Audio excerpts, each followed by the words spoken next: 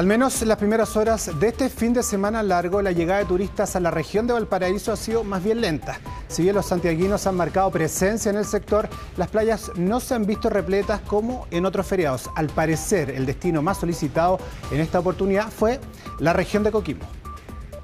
No fue precisamente el sol el que recibió a miles de turistas en la costa este fin de semana largo. Clima perfecto sobre todo para los santiaguinos, quienes vienen de vivir días de altas temperaturas. Sea calor en realidad en la semana, así es que, pero está súper rico acá el día, así venía a aprovechar por el día solamente, eso sí, pero súper bien. Yo creo que es un privilegio disfrutar de este clima más templado porque Santiago está demasiado caluroso. Pero está muy rico, vinimos por el fin de semana con nuestros hijos y a descansar solamente. Si bien se anunció la llegada de 150.000 vehículos por las principales rutas de acceso a la costa de la quinta región, hasta el mediodía de este sábado solo habían llegado 39.500 automóviles. Por ello, y aunque en estas primeras horas se percibe un aumento de turistas, ha sido lento, considerando que el hospedaje no ha superado el 60% de ocupación.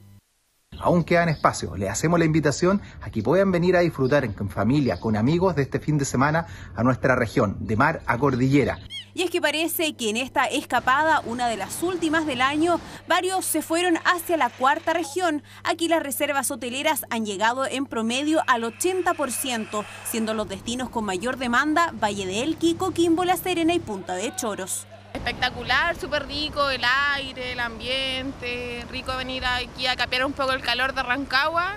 Bastante bien, aprovechamos el fin de semana largo para venir a descansar unos días acá a Serena. Felices, estamos muy contentos aquí en La Serena, nos encanta venir para acá. Lo que tienen en común estos turistas, independiente del destino, es que tomaron este fin de semana largo como una escapada antes de terminar el año y que comiencen las vacaciones de verano. No, nos vamos mañana, el domingo en la noche. ¿Vinieron por el fin de semana? Exactamente. Ya el lunes descansar y después retomar el, nuevamente la semana. Nos vinimos antes y nos vamos en la mañana del lunes. Estamos de Santiago, llegamos en el día de ayer por el fin de semana largo.